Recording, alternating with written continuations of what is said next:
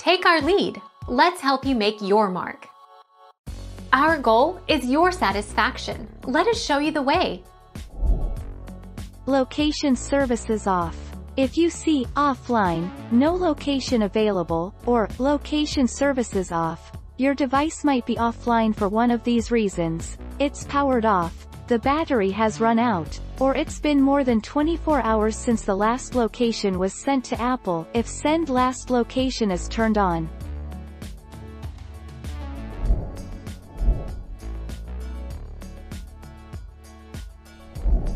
Make your mark. Take our lead.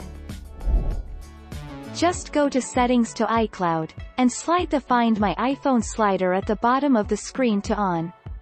Once you turn on Find My iPhone, you can use any web browser or other iOS device to locate your wayward iPhone, send a message to its screen, or, as a list ditch move, remotely wipe your data off it.